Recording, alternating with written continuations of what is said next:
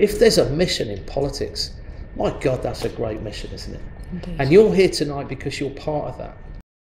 We are very pleased to see that Lord Pendry and James Duddridge and Baroness Walmsley and others are going to come and go uh, as, as the evening goes on. So let us now hear from Tom Watson, um, the Deputy Leader of the Labour Party, Member of Parliament, but also someone whose life has been transformed. He's reversed his type 2 diabetes and he's going to tell us how he did it and what we have to do. Tom Watson, ladies and gentlemen.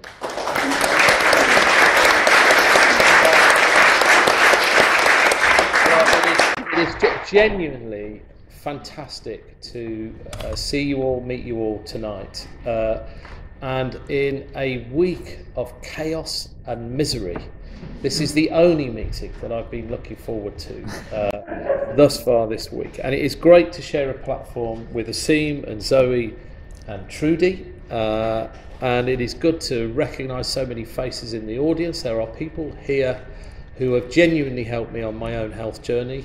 Michael Mosley over there was actually the start of my journey. I not only read his book when I was on a holiday, I read it on a Kindle, so then I read all the footnotes, and then I read a Aseem's book. I've actually got Zoe's book for Christmas, uh, and it's helped me. And Keith, you talk about your bad food habits. You can have on my diet, you can have chocolate provided it is 80% plus cocoa. You can have curry, chicken curry, provided it is cooked in ghee or butter. Uh, I would rather you have cauliflower rice with it rather than rice. Uh, I'm not sure about the tea, but obviously, why would you want tea when you can drink bulletproof coffee, which is very good if you choose to uh, fast intermittently or do time restricted eating? And that's really what I wanted to talk about. You don't really need to hear my personal journey because you can read it in the Daily Express online every two weeks because they write the story over and over again. Um, but I do, where, where it might intersect with public policy and what needs to change is where I think we need to be tonight. So I will briefly talk and then I think we should genuinely hear from the experts. I, I'm a classic case, really. I was a busy guy with a busy life who didn't really think much about nutrition, piled on the weight through my mid 20s, 30s, 40s, uh, developed hypertension, didn't think much about it, and then hit type 2 diabetes, and then for a period of time went into complete denial about it. Uh, and took these things called metformin and various other things that I didn't really think much about either. I just became medicalised in the system without necessarily thinking about any of the consequences because uh, I was going to live forever. And there comes a point in life where that has to end. Uh, and for me, uh, it ended uh, uh, having, re- having read into the subject and realizing that the advice the government were giving me might not necessarily work for me. Uh, and of course, that's quite difficult when you're a policymaker, when you have to be responsible, when you have to give correct advice to people on public service broadcasting. And I, and I was quite troubled by it and challenged by it when I went on my when I started my own journey. Uh, and that's why I've not really spoken about this. I think I put my type 2 into reverse remission. We can talk about the lexicon of uh, how you describe it. Um, I think I probably turned it around in about six weeks flat. Uh, but I left it a year of testing my HA1Cs or uh, doing my sort of daily fasting blood glucose just to make sure that it wasn't an aberration. And I did it uh, to start with by cutting out refined sugar in all its forms, by cutting down the amount of carbs I take. I'm sure everyone has had this debate. And other than two or three days of what I would describe as flu like symptoms, which I now know was refined sugar withdrawal, I just felt great. And I woke up after about a week and a half, had the usual routine I get, went through, which was which of my joints ache the most today. I woke up one day and my joints weren't aching, and I'd not gone to the loo in the middle of the night, and I'd had a really good night's sleep, and I woke up feeling relaxed and pretty good about myself. And people at work were commenting that I was looking a bit calmer uh, and a bit more chilled out. And I'm getting more chilled out by the week, and we're in the middle of the biggest national crisis facing our country since the Second World War. My party is on the verge of civil war and collapse. Everyone is losing their heads, and I almost could get excited about it, but not quite because I'm so chilled out. And that's basically because I've changed myself through nutrition. And amazing things come from that. Amazing, unbelievable things come from it. I feel like a totally different person. And the first benefits that I, uh, there's things I'd never want to lose again. I feel like my cognitive functioning is significantly enhanced. I can recall facts and information more quickly. My memory is better. I'm sharper. I'm calmer. I can, I can concentrate for longer periods of time. That's as a result of nutritional change. I feel like a more compassionate person. I feel like I've got a new purpose in life.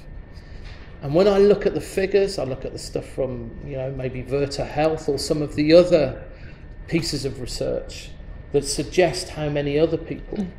could reverse their condition and get their life back and rediscover the joy of waking up every day. Uh, I feel that's my new mission in life, and the research suggests there could be 2 million type 2 diabetics who could rid themselves of their meds. And by the way, could significantly reduce the 10% we spent of the NHS budget, the 10 billion pounds a year uh, that we spend on treating type 2 diabetes. Before you even add all the other symptoms of metabolic syndrome and dementia, early, early onset dementia, which I think has got to be related to the amount of sugar in our diet. Now, occasionally, having gone through this personal transformation and feeling like I want other people to share in the joy of life, you can get irritated.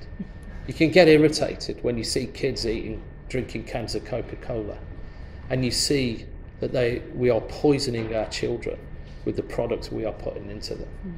And if there are people, you know, I know the voluntary sector people are probably here tonight, and I never mean this disparagingly.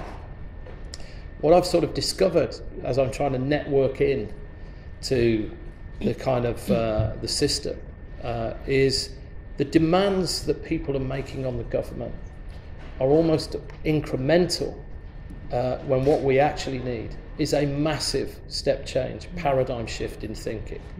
You know, from how we regulate our advertising and our food production to how we legislate to ta- uh, legislate and tax, uh, to how we educate, to how we teach our children.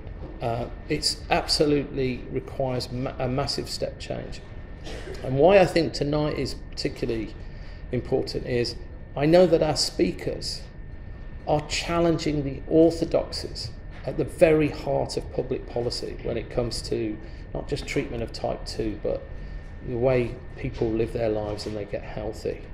Uh, and I, you know, I can't claim to be an expert. Uh, okay, I, am an obsessive amateur parliamentary biohacker who tries to measure everything now and supplement with things and get healthy and run and lift and ride bikes and wake up and put my face up to the sun and realize what a glorious day it is. But I'm not an expert.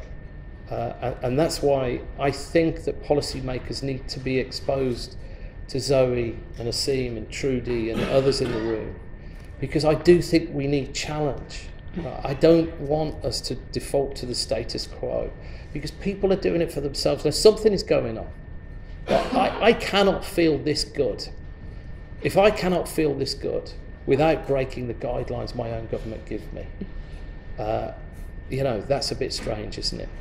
Uh, and so I want to tease this out.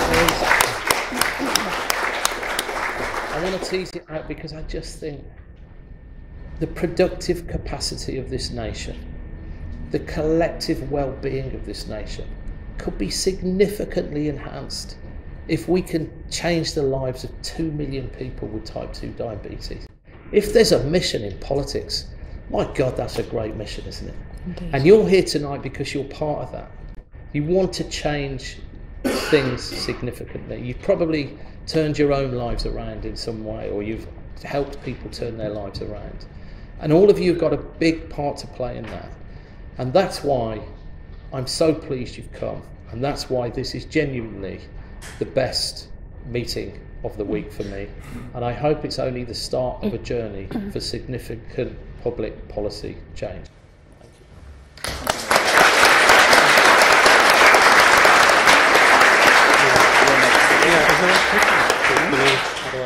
How do